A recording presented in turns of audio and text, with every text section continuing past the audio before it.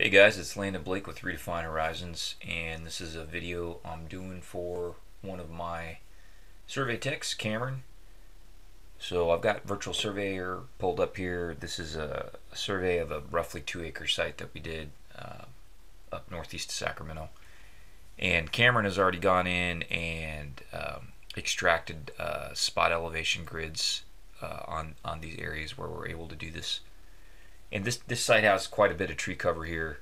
Um, so uh, you know there are some areas of the site where where uh, we can't uh, use the UAV uh, ortho and uh, DEM digital elevation model to extract our topo data. So uh, we we did a bunch of not a bunch, but we did a fair amount of infill surveys.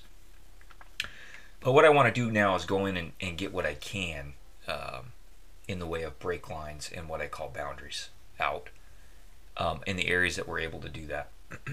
and then we're going to blend that in with our uh, with our data from our ground surveys that we did with the total station. but I thought it'd be good to just show Cameron how I was going to do this.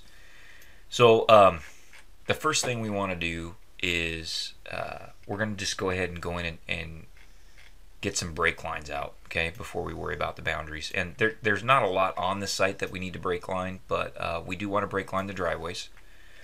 And uh, we're not worried about break line in any of the streetscape out here because uh, we we have hardscape uh, shots on that, and you can see why we did that. We've, we've got a little bit of rippling here in the street. Um, so all that got shot with the total station. Okay, but we do want to try and get these driveways out. Okay, and there's a certain way that you want to do this. So what, what we want to do is we want to make a new layer. Um, and so we're going to call this uh, we're going to use our RH layer standard. So we're going to say survey lines, I'm sorry, survey topo, okay, lines 3D, and then I'm going to put um, uh, edge of pavement. Okay, so we'll add that as a layer. Okay. And now we want to go ahead and uh, draw some polylines. Okay, so we're going to go ahead and do that.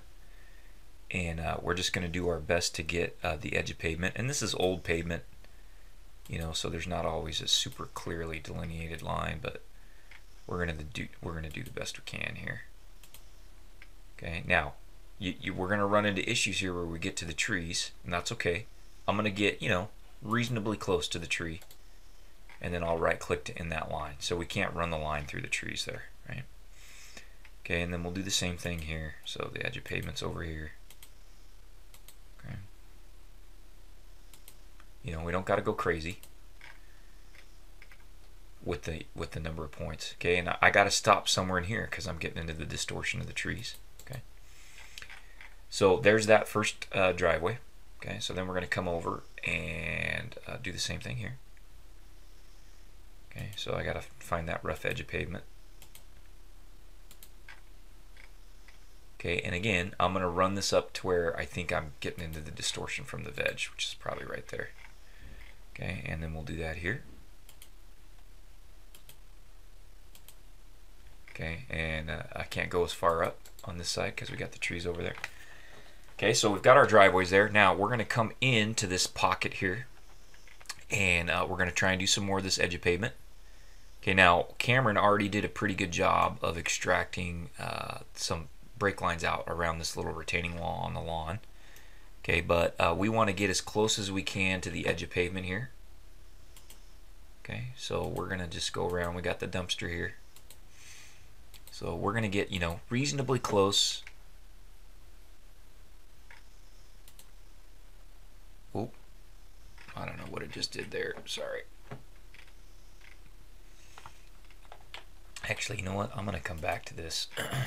we're going to do that. That should actually be a boundary. So uh, let's see if we can see any more edges of pavement. Okay, so we can get a little edge of pavement in here. It's hard to see, but I was actually there on the ground. So I have a rough idea that edge of pavement is right in here. Okay, so I'm going to go ahead and draw that in. Okay, now, we got to be careful here because this isn't the actual edge of pavement. Okay, um, the edge of pavement is actually under the veg a little bit. Okay, so I'm, I don't want to make that a break line. That's going to be a boundary. Okay, So I don't know that there's any more edge of pavement in there. Okay. Now I do want to come in and get some break lines on the concrete. Okay, now we have some hardscape shots on the concrete that we took. Uh, but I'm going to go ahead and break line these and uh, we can use that. Uh, you know, we'll check that against the, the shots with the total station and, uh, you know, we can make some adjustments to the break lines, but I, I want to go ahead and draw them in. Okay. Now, depending on what you're doing, you know, you, you may not be able to take your uh, break lines like this from the UAV topo. Uh, but that's that's why we got some total station shots here. Okay, now I don't I don't want to cut across here because that's not the actual edge, right? So I'm just going to end that there. Okay, and then I'm going to do the same thing here.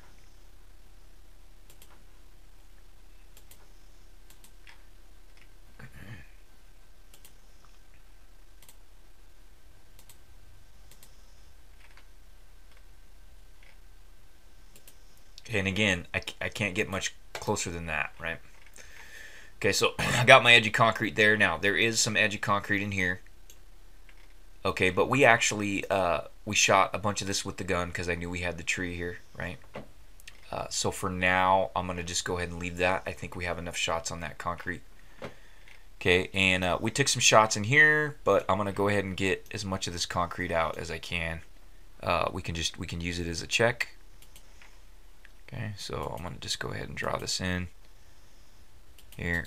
Okay, and we got a shot. There's a little drain here. We got a shot on the drain. Okay, but I'm going to get as much of this. Now, I have dorked this up. Okay, and the reason I dorked it up is these last few lines have not been edge of pavement. They've been edge of concrete. So let's show you how to fix that. So we're going to come down here, make a new layer. Survey topo lines, 3D edge of concrete.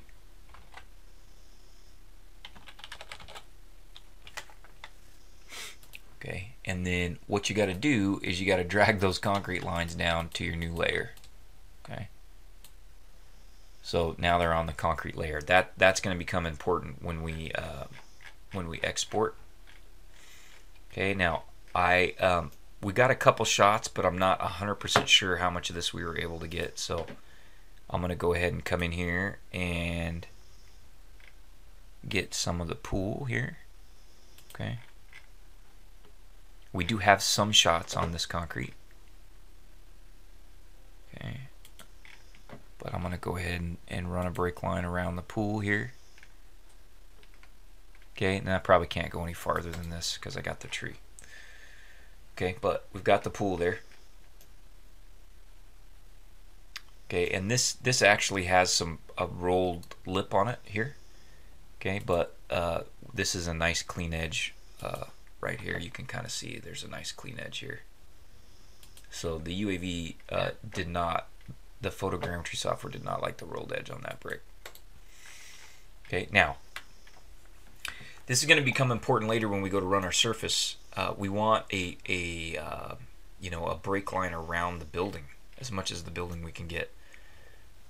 Okay, but I don't want to call that an actual break line because this concrete runs back into the building, right? So that's what I call a boundary. Okay, so I think I have all the break lines out that I can get out. So now I want to do some what I call boundaries. Okay, so those those may not be the actual limit of the physical feature, but they're they're the limits of what we can get on the aerial. Okay, so we're gonna we're gonna keep it on the polyline command for now, uh, but we're gonna make some new layers. Okay, so we're gonna um, I'm gonna make a new layer and I'm gonna call it survey uh, lines. Okay, 3D, and this is just gonna be called boundary. Okay, um, and you're gonna see why why we do it that way. Okay, so now I'm just I want to run around you know what I what I feel like is the limits of the good elevation data in, in some locations here. And one of the things we want to do is we want to be able to cut the surface, the building out of the surface model. Okay, so I want to make sure that I've got a boundary as, as much around the entire building surface as I can get it. Okay, because we're going to need that when we run our surface. Okay, and, and if for some reason the client needs some more building details, uh, we can certainly go back and get that. You know, you want to be careful now that you don't get too close to the edge, right? Because you'll get some distortion. So you got to be careful because it starts ramping up, right? So, you know, somewhere in there is where we got to get. Okay.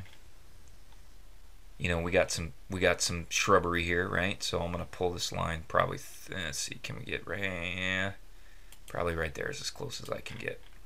So this is just, we're going to have a hole in our surface here, okay, where the building sits, and that's okay. All right, so I'm going to go ahead and end that line there, you know, and then I, I'm going to come back out here, right, where I think I can get some good elevation values, okay, which is along the edges of those shrubs. Okay, you got you can see I've got some distortion in here, so I want to be careful with that. Okay, so I'm probably going to just come across right here because this is starting to get pretty bumpy. Okay.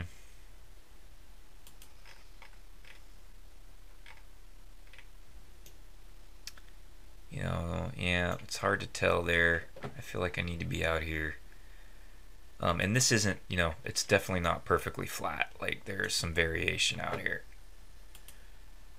Okay, so, you know, we're just, we're trying to figure out, you know, what's reasonable, you know, what's a reasonable limit to where I think we can pull out some decent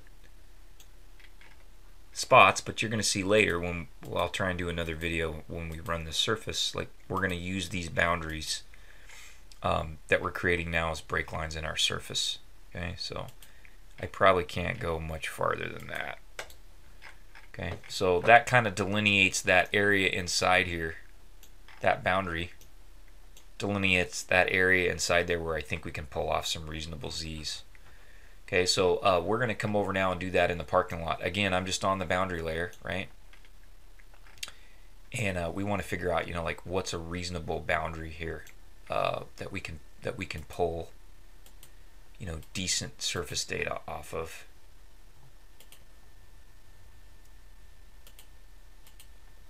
Okay. We're just doing that all on that on that boundary layer.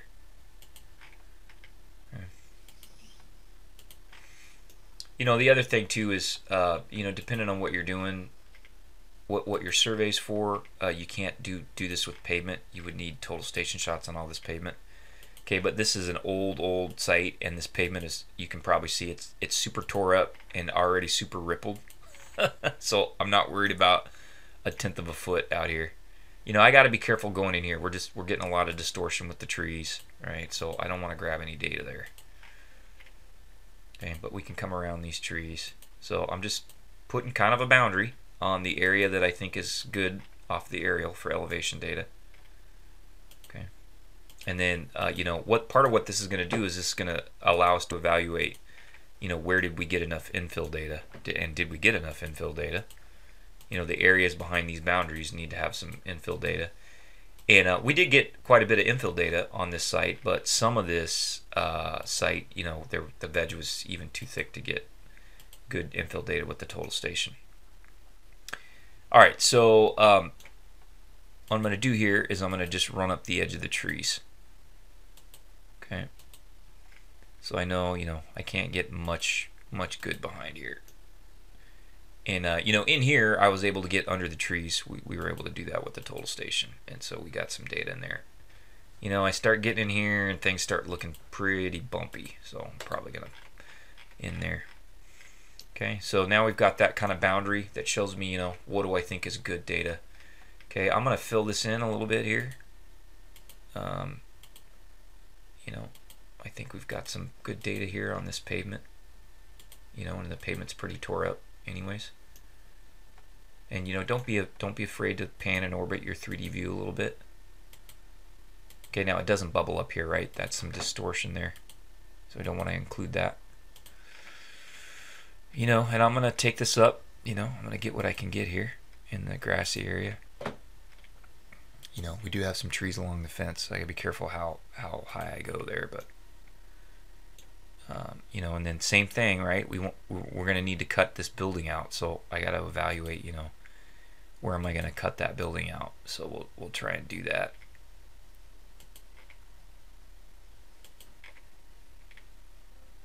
You know, and you can just tell it had a hard time with the building on this on this shady side, right? Like I'm just getting some bad data there. So, and we we have some building shots too that we'll be able to compare with. You know, I feel like that's a little better.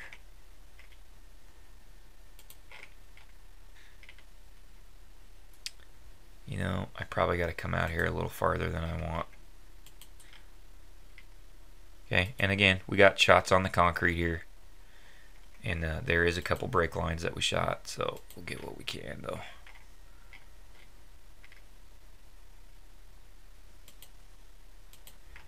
Okay, and then again, I'm going to come in here, you know, as close as I reasonably think I can to the building here. Well, that's probably that's probably about what we can get. Okay, so again, just kind of delineates that area where I think we can get some good surface data.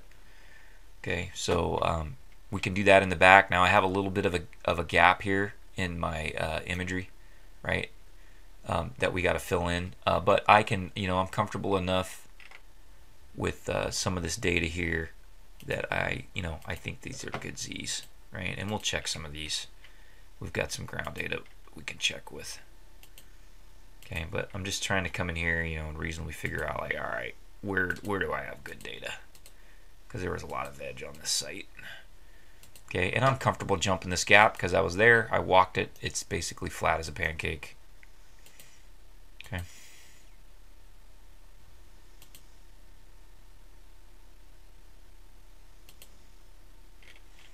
Oh, it's not going to let me do a boundary. I didn't do a closed boundary on that one. So I'll close that.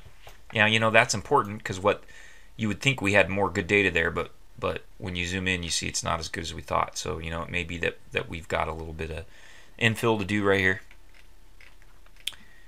Okay, and um, I could do that for the for the grassy areas here, but but Cameron did a pretty good job of that when he did his spot grids. Um, you know, but it's it's the same kind of principle, right? So you just come in here and you're just kind of picking points, and this is all going on that boundary layer, right? We just want to know, like, all right, how much of this, you know, is is good for elevation data, you know, when we go and run our surface, and you know what, like for for example, in here the tr the trees are super thick, and there's some understory there. You know, I'm not going to get, I'm not going to get super great infill data there, even with the total station. And so what we what we have to evaluate then is, you know between this boundary and this boundary, what do I do about these Z's here, right? Because this is super, super thick veg. And it may be that we just have to cloud this and interpolate some contours in here and let the engineer know, like, hey, you know, if for some reason this becomes critical for the design, these elevations in here, like we got to go in and, you know, cut down some brush to be able to get that.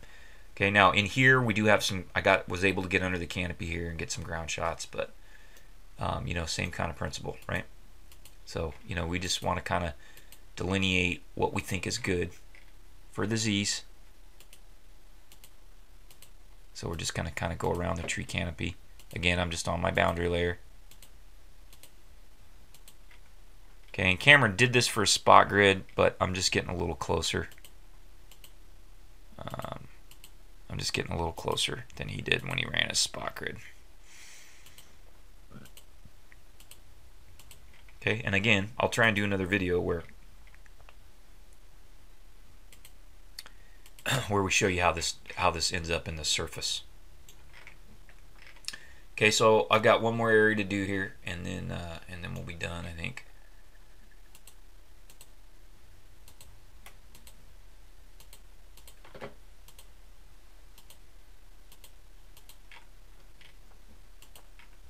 Okay, and you just it takes some experience to kind of get a handle on where to you know where to pick these points and you know to kind of see when you start running into some distortion.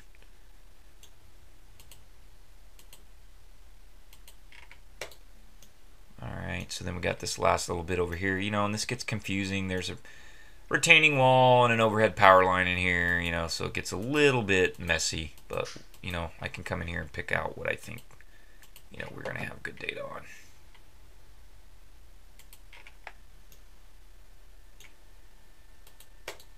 Probably something, some, something like that. Okay, so uh, we've got what we think we can get now out of here. So uh, what's actually nice is you can come in and, and, turn off your image layers, and then you can kind of see, um, you know, what you've got for boundaries and break lines, right? So we're going to use this when we run our surface. Okay. So what we want to do now is we want to export this and we're going to do that as a DXF. Okay, so we'll export the survey. And I'll go put this in the job.